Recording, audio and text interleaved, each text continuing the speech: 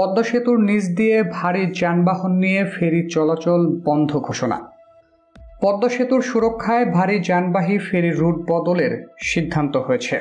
সেতুর পিলারে ফেরির ধাক্কার প্রেক্ষিতে এ সিদ্ধান্ত নিয়েছে সরকার।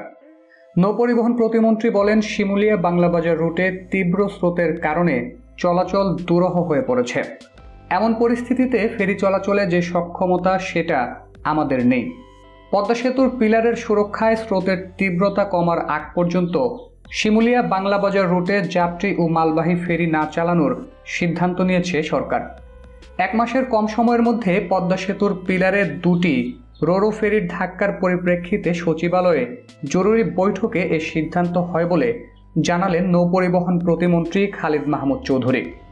সেতুর পিলারে ফেরির ধাক্কায় দুঃখ প্রকাশ করে তিনি বলেন পদ্মা সেতু হচ্ছে বাংলাদেশের সম্মান মর্যাদার একটা স্থাপনা। এটার সঙ্গে আমাদের অনুভূতি জড়িয়ে আছে। এই অনুভূতি আমাদের আত্মসম্মানের অনুভূতি। আমরা খুবই বিব্রত।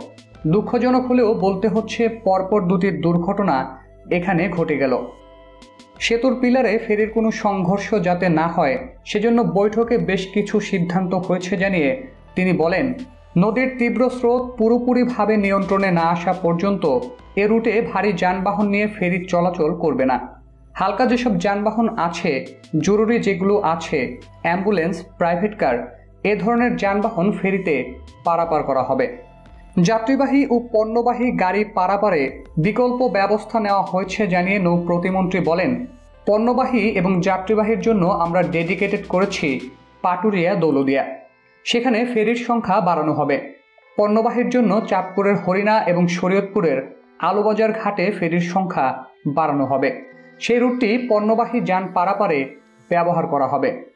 খালিদ মাহমুদ চৌধুরী বলেন, তার মানে আমাদের পদ্মা সেতুর নিচ দিয়ে যে ফেরিগুলো যাবে, এগুলো শুধু হালকা যেসব যানবাহন আছে, সেগুলো পারাপার করবে। এটা নিয়ন্ত্রণে না আসা পর্যন্ত বাকি সব বন্ধ থাকবে। দুর্ঘটনার কারণ ব্যাখ্যায় প্রতিমন্ত্রী বলেন শিমুলিয়া বাংলাবাজার রুটে স্রোতের প্রচণ্ড তীব্রতার কারণে ওভারলোড ফেরিগুলো চলাচল দুঃসাধ্য হয়ে গেছে। এমন পরিস্থিতিতে ফেরিগুলোকে কন্ট্রোল করার জন্য পুরোপুরি সক্ষমতা আমাদের ফেরি পরিচালনার সঙ্গে যারা যুক্ত আছেন, সেখানে দুর্বলতা আছে। ফেরি পরিচালনার দুর্বলতা নিয়ে জানতে চাইলে খালিদ মাহমুদ বলেন, আমি তো বলেছি তীব্র স্রোত। বিদ্যুৎ বিভাগের কিছু পিলার স্থাপন করা হয়েছে নতুনভাবে। পদ্মা সেতু স্থাপন করা হয়েছে। ফলে এ জায়গায় স্রোতের চরিত্র পরিবর্তন হয়ে গেছে। আনপ্রেডিক্টেবল অবস্থা তৈরি হয়ে গেছে।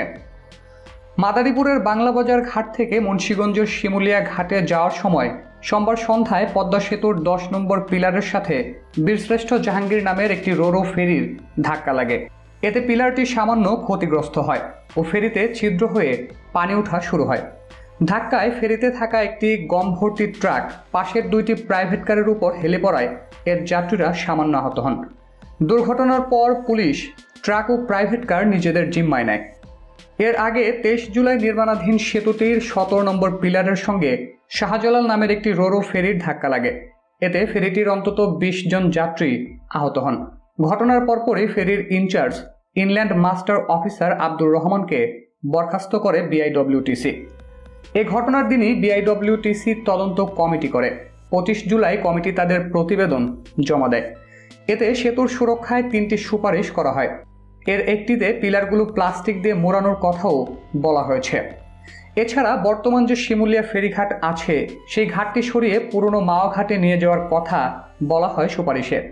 যুক্তি হিসেবে বলা হয়, সেক্ষেত্রে ফেরিগুলোকে সেতু ক্রস করতে হবে না। পুরনো মাওঘাট থেকে ফেরি বাংলা বাজার চলে যাবে। আর যদি সেটা সম্ভব না হয়, সেক্ষেত্রে বাংলা বাজার ফেরিঘাটকে সরিয়ে মাঝির ঘাটে নিয়ে আসার সুপারিশ করে কমিটি। সেক্ষেত্রেও ফেরিগুলোকে সেতু ক্রস করতে হবে না। সেতু যেহেতু ক্রস করতে হবে না, তাই আগামীতে দুর্ঘটনা ঘটারও আশঙ্কা থাকবে না। ওই তদন্ত কমিটির প্রতিবেদনের পর পদ্মা সেতুর পিলারে রোরো ফেরি শাহজালালের ধাক্কার ঘটনায় বিশদ তদন্তে উনত্রিশ জুলাই পৃথক একটি কমিটি করে নৌ পরিবহন মন্ত্রণালয়। কমিটিকে দশ কার্য দিবসের মধ্যে নৌ সচিবের কাছে সুপারিশসহ তদন্ত প্রতিবেদন জমা দিতে নির্দেশ দেওয়া হয়।